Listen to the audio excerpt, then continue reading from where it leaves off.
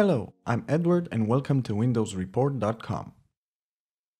In this video, I will show you how to fix the error Canon scanner driver is not installed. Many users complained about getting this type of error with their Canon scanners, which seems to stem from either bad drivers, corrupted software or firewall conflicts. So let's take a look at the possible solutions to fix this issue in no time. For a more detailed explanation and even more solutions, please check the article in the description below.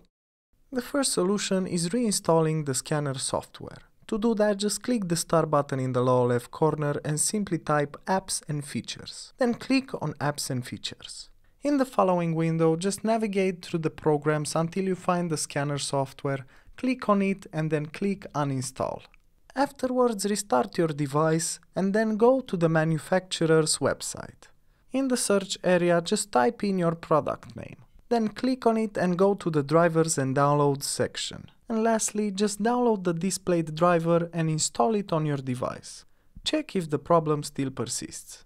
Another useful solution is using Device Manager.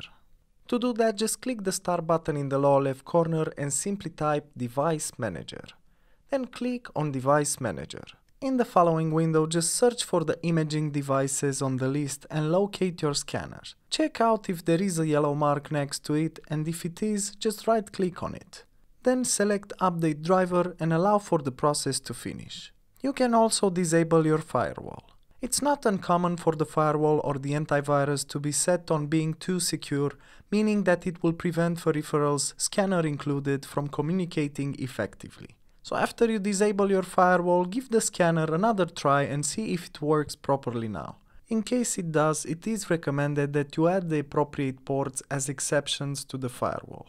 By doing this, you will ensure that your firewall will not restrict the data traffic anymore and the necessary ports for the printer to work properly are unblocked. And another useful solution is running the troubleshooter. To do that, just click the start button in the lower left corner and simply type printers then select Printers and Scanners.